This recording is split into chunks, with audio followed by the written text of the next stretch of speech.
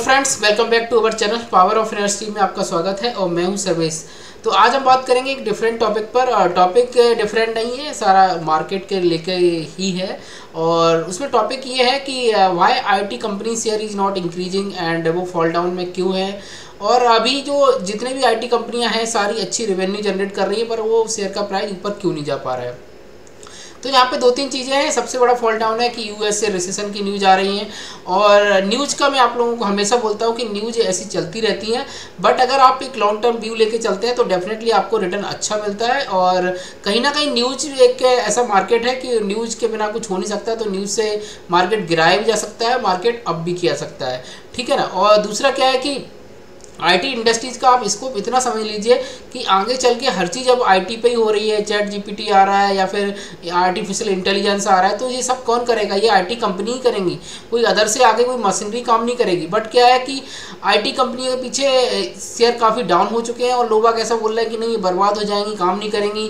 तो ऐसा ऐसा सच कुछ होने वाला नहीं है मेरे हिसाब से। मेरे हिसाब से ये है कि अभी आई कंपनियाँ काफ़ी डिस्काउंटेड है और एक लॉन्ग टर्म व्यू बना के अगर आप उसमें इन्वेस्टमेंट करते हैं तो शायद आपको अच्छा खासा रिटर्न मिल जाए। तो वीडियो में आगे बढ़ने से पहले छोटा सा एक डिस्क्लेयर है कि मैं आपको कोई एडवाइस नहीं दे रहा हूँ कि आप इस कंपनी के स्टॉकों को खरीदें या बेचें, सिर्फ़ एजुकेशन पर्पज से ये वीडियो बनाया जा रहा है। सो जब हम बात करेंगे आईटी कंपनी को तो सबसे जो बड़ी कंपनी है इंडिया में, एक बात है टीसीएस टीसीएस कंपनी की बात करें तो टीसीएस जब हम बात करेंगे तो हम इनके फाइनेंशियल रिज़ल्ट भी यहाँ पर डिस्कस करेंगे।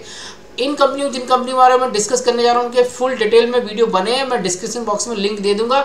आप वहाँ पे जाके इनके बिज़नेस मॉडल फाइनेंशियल और क्या क्या चीज़ होती है, वो सारी चेक कर सकते हैं, मैं यहाँ पे ब्रीफ में आपको बताऊँगा। तो अगर हम टीसीएस की बात करें तो टीसीएस का जो अभी दिसंबर 2019 से लेकर दिसंबर 2022 के बीच में अगर हम सेल्स देखें तो sales is coming highest ever तो सेल्स इनकी जो हाईएस्ट एवर आ रही है तो आप समझिए बिज़नेस कहाँ पे डाउन है? बिज़नेस तो कहीं डाउन मुझे तो दिखता नहीं है।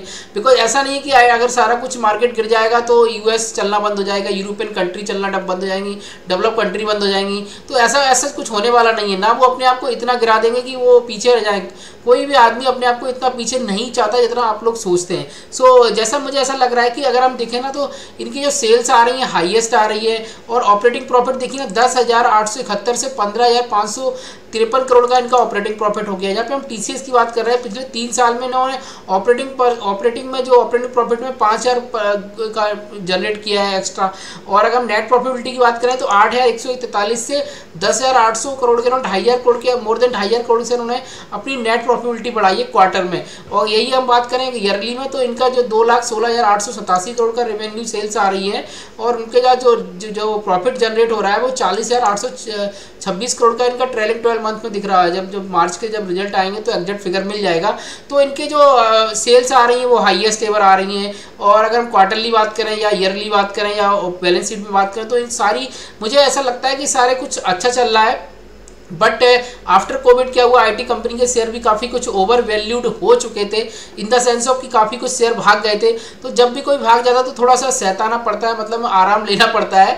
तो जस्ट टेकिंग द रिलैक्स वो रिलैक्स करने ही आए हैं। और रिलैक्स uh, करने के बाद जब वो भागेंगे तो फिर नहीं पकड़ पाएँगे। तो मेरा ये मानना है कि this is the time to थोड़ा स्टडी करके कहीं आप इन्वेस्टमेंट लॉन्ग टर्म के लिए कर सकते हैं। अगर हम बैलेंस शीट की बात करें तो ऐसा सब कुछ बराबर है। और यहाँ पे प्रोमोटर की होल्डिंग देखें तो कांस्टेंट है, सब कुछ है। फुल वीडियो बना रखा है, आप वहाँ पे देख सकते हैं। अगर हम चार्ट पैटर्न की बात करें तो यहाँ पर TCS का मैंने चार्ट जब बनाया था, तब तक ये तकरीबन बत्तीस के आसपास ट्रेड कर रहा था। और अभी बत्तीस के आसपास ट्रेड कर रहा है वो बत्तीस था। जब मैंने ये चार्ट बनाया था तो चार या अड़तीस का कुछ टारगेट बताया था। और यहाँ पे एक जो क्या बोलते हैं क्या बोलते हैं गैप डाउन गैप अप करके ऊपर गया था, जहाँ पे गैप छूटा हुआ है। तो ये बोला भी था, शायद यहाँ तक आ सकता है। और आ भी सकता है, नहीं भी आ सकता है, क्योंकि कंपनी उतनी अच्छी है। और अगर आएगा भी तो आपको पता भी नहीं चलेगा, वो एक दिन इतना लंबा चौड़ा डाउनफॉल मारेगा और फिर पिकअप कर लेगा। तो ये TCS के बारे में था और यहाँ से मुझे ऐसा लगता है काफ़ी अच्छी कंपनी है, काफ़ी अच्छा यहाँ पे बूम बन सकता है। और देखा जाए तो यहाँ पे एक जैसा डब्ल्यू पैटर्न भी बन रहा था और अभी भी कोई डब्ल्यू पैटर्न फॉर्मेट हो सकता है। और so this is the TCS about अगर हम टेक महिंद्रा की बात करते हैं तो टैग महिंद्रा में भी वही है, जब टैग महिंद्रा की आप बात करिए तो दिसंबर 2019 में जो नौ हज़ार छः सौ पचपन करोड़ की सेल्स हुआ करती थी, वो अभी तेरह हज़ार सात सौ पैंतीस करोड़ की सेल्स जनरेट हुई। तो sales quarter wise highest ever है, operating profit quarter wise highest ever है। पंद्रह सौ तिरसठ से बढ़ के इक्कीस सौ पैंतीस हो गया। और अगर नेट प्रॉफिट की बात करते हैं, ग्यारह सौ ग्यारह करोड़ से बढ़ के बारह सौ पिचासी करोड़। तो ये मार्च थोड़ा सा इनके नेट प्रॉफिट में थोड़ा प्रेशर है बट ओवरऑल जब सेल्स बढ़ रही है तो दूसरा क्या है, जब से यूक्रेन और रसिया का युद्ध आया तो थोड़ा सा वहाँ पे आ, कुछ अनसर्टिनिटी आई तो वहाँ पे थोड़ा इनको जो क्या बोलते हैं जब इनको अपने एम्प्लॉय कॉस्ट बढ़ानी पड़ती तो इनके मार्जिन कम हो जाते हैं। सीधा इनका सबसे बड़ा खर्चा जो है वो एम्प्लॉय है और इनके पास कोई ज़्यादा कुछ ऐसा एक्सपेंडिचर नहीं कोई इतना बड़ा प्लांट एंड मशीनरी नहीं है। इनका सबसे बड़ा जो खर्चा है वो क्या बोलते हैं एम्प्लॉय है उनकी सैलरी है और जो इक्विपमेंट्स वगैरह उनको देते हैं कंप्यूटर वगैरह बस यही इनके एक्सपेंडिचर हैं। सो so, अगर हम देखें तो, तो इनकी ट्रेलिंग ट्वेल्व मंथ में जो प्रॉफिट एंड लॉस में देखें तो हाईएस्ट एवर सेल्स दिख रही है क्या बना सौ अट्ठासी करोड़ की। नेट प्रॉफिट भी हाईएस्ट एवर के आसपास नहीं है पर पिछली बार आया था। तो जब मार्च में रिज़ल्ट आएँगे तो हाईएस्ट एवर के आसपास आ सकते हैं। बट प्रेशर क्यों है वो मैंने आपको बता दिया। सेल्स जब ग्रो हो रही है मतलब बिज़नेस ऐसा नहीं कि बिज़नेस ठप हो रहा है बिज़नेस शट डाउन हो रहा है बिज़नेस कभी शट डाउन नहीं होने वाला। आईटी कंपनी हमेशा ऊपर जाएँगी। बिकॉज़ अगर हम बात करें तो हर चीज़ आईटी आईटी से लिंकअप हो रहा है आज की तारीख में। हर चीज़ एवरीथिंग तो आईटी कंपनियाँ ऊपर ही जाएँगी। टेक महिंद्रा की जब बात करते हैं चार्ट पैटर्न में तो टेक महिंद्रा का हमें चार्ट ओपन कर रखा है। जब मैंने इसको शेयर को बनाया था तो तकरीबन 1100 के आसपास ये ट्रेड कर तकरीबन दस के आसपास ट्रेड कर रहा था। वही रेंज में है। थोड़ा सा ऊपर भी गया है। और ये गैप था, वो गैप भी फिल हो चुका है। अगर यहाँ से टारगेट लेके चले तो इसमें अठारह का भी टारगेट लेके चलेंगे तो काफ़ी अच्छा रिटर्न मिल जाएगा। और बेसिकली ये लॉन्ग टर्म के हिसाब से मुझे लगता है कि ये काफ़ी हैवी डिस्काउंटेड शेयर मिल रहे हैं और खासकर जिनके मार्केट कैप अच्छे हैं और साथ साथ में इनकी ईपीएस भी अच्छी जनरेट हो रही है और कंपनियाँ मार्केट लीडर है एक तरह से। सब में अच्छे कम से काम बिज़नेस हो रही है। अब बात कर लेते हैं इन्फोसिस की। तो इन्फोसिस में जब हमने यहाँ पे देखें तो इन्फोसिस की सेल्स जो आ रही है वो हाईएस्ट एवर है। अड़तीस हज़ार तीन सौ अठारह करोड़ की सेल्स आ रही हैं। ऑपरेटिंग प्रॉफिट इनके हाईएस्ट एवर है। और नेट प्रॉफिटिटी की बात करें तो नेट प्रॉफिटिटी क्वार्टर वाइज भी हाईएस्ट एवर है। तो कहाँ पर रिसेशन है? आई डोंट नो बिकॉज़ क्या है कि मार्केट गिराना पड़ता है, थोड़ा बहुत एक न्यूज़ बेस रहती है। बट क्या है कि शेयर इसके चक्कर में डिस्काउंटेड हो गई। That is that is good news fair की दैट कि आपको इन्वेस्टमेंट करने का मौका है। और कई सारे लोग बोल सकते हैं, सर, सारा पैसा तो इन्वेस्टेड कर दिया है तो कहीं से अब पैसा नहीं आ रहा है या फिर कुछ नहीं आ रहा है?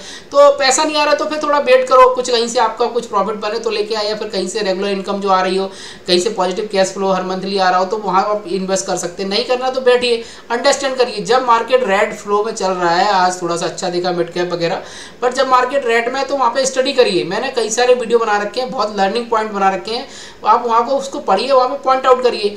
जब कभी भी आपको ऐसा मौसम लगता है जब कोई मौसम बिल्कुल या फिर आप निगेटिव मूड में होते हैं, आप, आपको मूड ख़राब होता है, या फिर आपके लिए समय अच्छा नहीं होता तो वहाँ सबसे अच्छी चीज़ है कि लर्न करो, कैसे ये सब चीज़ों से सॉर्ट आउट हो। बिकॉज़ वो सही समय होता है, जब बुलिस टाइम आता है तो आपके पास स्ट्रेटेजी होती है कि आप कुछ कर सकते हो उसमें, और जब बुलिस टाइम होता है तब तो आप स्ट्रेटेजी लेके चलते हो तो आप गलत चीज़ कर लेते हो बिकॉज़ आपने सीखा ही नहीं है। आप ये देखिए कि जिनके पास बंदूक होती है, जिनके पास जो भी इक्विपमेंट्स रहते हैं, अगर इंडियन आर्मी के पास भी है किसी गवर्नमेंट के पास भी है तो वो ऐसा नहीं कि वो बंदूक चलती नहीं तो उनकी रेगुलर प्रैक्टिस नहीं होती है, साफ़ सफ़ाई नहीं होती है तो सब, हमेशा सब चीज़ चलती रहती है। बिकॉज़ क्यों चलती रहती है कि कहीं वो उसमें जंग ना लग जाए, कहीं वो काम नहीं आए? तो यही आपका दिमाग है, जब मार्केट ठंडा पड़ा है, पैसा नहीं है तो लर्न करो, सीखो, सीखेंगे तो आगे बढ़ेंगे। तो अगर आप सीखेंगे तो सब चीज़ें बढ़ेंगे। तो इन्फोसिस की बात कर रहा था तो इनके जो क्वार्टरली इनके रिज़ल्ट काफ़ी अच्छे आ रहे हैं, और अगर हम ईयरली बात करें तो हाइएस्ट एवर सेल्स दिख रही है, एक लाख इकतालीस हज़ार आठ छः सौ दो करोड़ की। और नेट प्रॉफिटी की बात करें तो वो भी हाइएस्ट एवर दिख रहा है, तेईस हज़ार सात सौ करोड़ के आसपास। तो इन्फोसिस में भी वही है फिगर के अगर हम यहाँ पे चार्ट पैटर्न देखें तो यहाँ पे भी चार्ट एक डब्ल्यू पैटर्न सा खूबसूरत से बन रहा था but due to market fall down ये भी गिर गया।